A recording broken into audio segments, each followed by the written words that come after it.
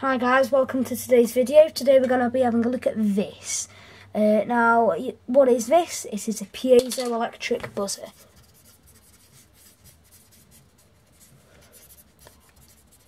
And what a piezoelectric buzzer does, basically, uh, is it produces sound.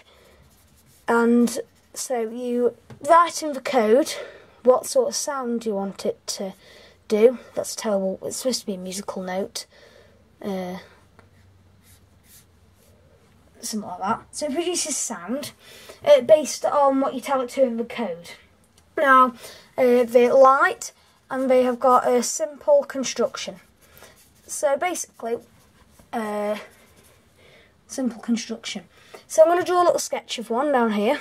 So that is the uh, little plastic bit uh, above. Then you can see a little hole now inside there is a disc, and that is made from uh, it's made from something called a piezo uh, material. Now, uh, piezoelectric materials are either naturally available or man-made, and um, basically, you when subjected to an alternating field, they either stretch or compress. Um, and in accordance with the frequency of the signal. And, and what this does is it produces sound. Uh, so just based on the frequency that you tell it to in your Arduino code. Um, so that's uh, the piezoelectric buzzer.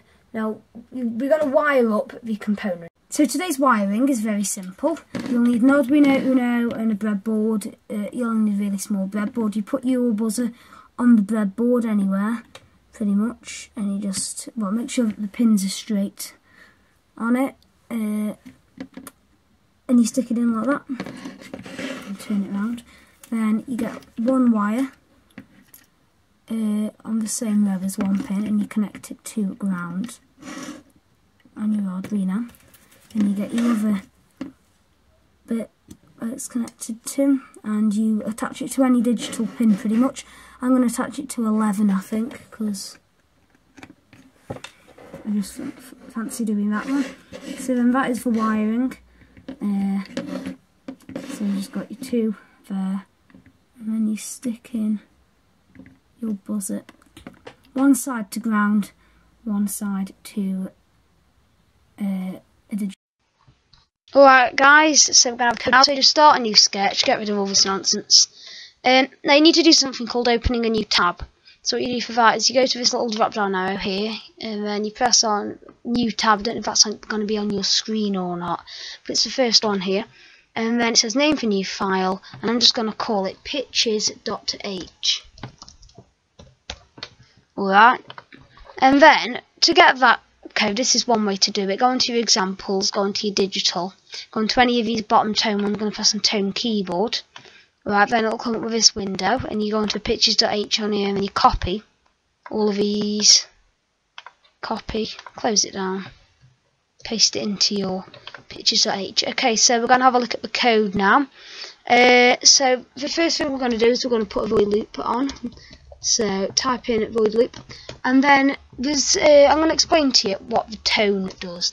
So in a tone, you have three numbers in uh, after commas in a bracket.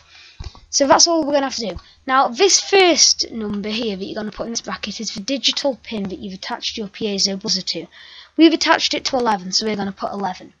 The second number that you put in your brackets is the uh, the, the note so what frequency you want it to play. So I'm going to start off with 20. And then here, the third number you put uh, in the commas is the duration in milliseconds. So I'm going to have that as 2000. So I want to play for 2 seconds.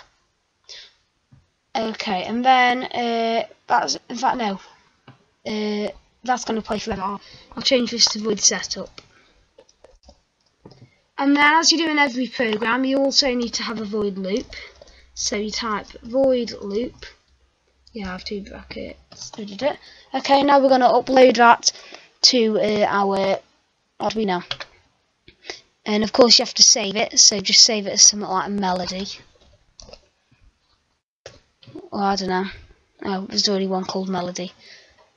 I'm going to call it something melody 2. And then it'll upload to your board and all of that stuff.